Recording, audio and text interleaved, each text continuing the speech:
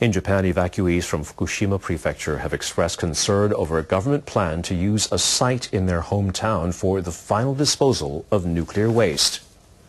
The waste was collected during cleanup work in areas contaminated by the Fukushima Daiichi plant. About 70 evacuees attended a briefing session on the plan on Sunday. Ministry officials explained that ash and other waste that could easily leak radioactive substances will be covered with cement at a facility in another town before being brought to Tomioka.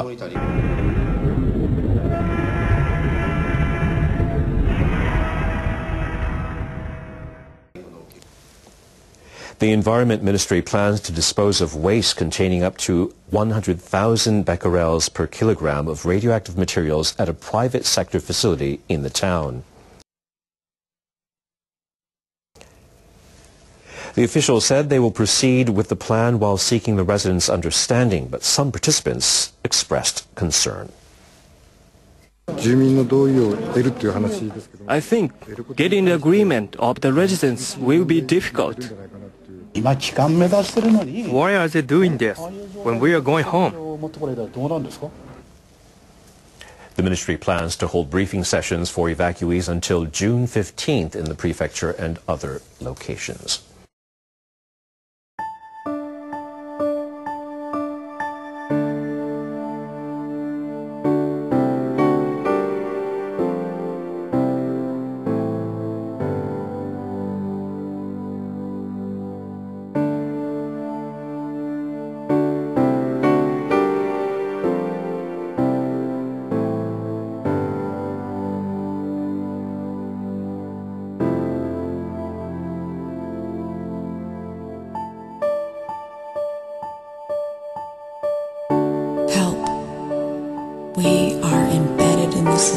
At its very root.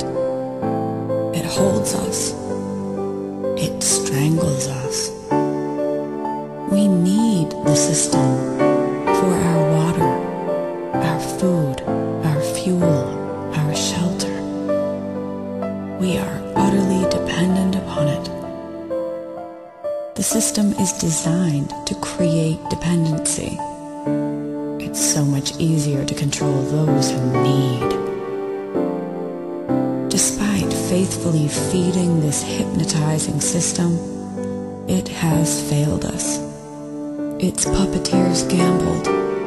Our money, our resources, our democracy, our sustenance, and lost. And then they got bailed out at our cost.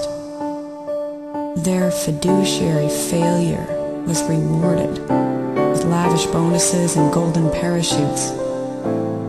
Decadence is never enough when money is your master. Gandhi said, He who passively accepts evil is as much involved in it as he who helps to perpetrate it. We've been striking at evil's branches. If money is at the root of all evil, it is time to strike the root. How? Unplug. Our money is power. Stop buying what they are selling. Instead, give our money to local farms instead of the subsidized, monopolized agricultural conglomerate. Give our money to small business, not big international chains siphoning community funds for the excessive elite. Give our money to our children for education, not for weapons that kill other people's children. Give our money to enrich our health instead of pharmaceutical companies that manufacture addiction. Give our money to restore the environment around us, upon which all life depends, instead of mountain topping and offshore drilling. Give our money to innovation, not industries bound for certain obsolescence. Give our money to creators, not looters. Turn off the television. Grow a garden. Ride a bicycle. Write, read, dance, sing. Feed our souls. Follow our dreams. Strike this root chord of a new scale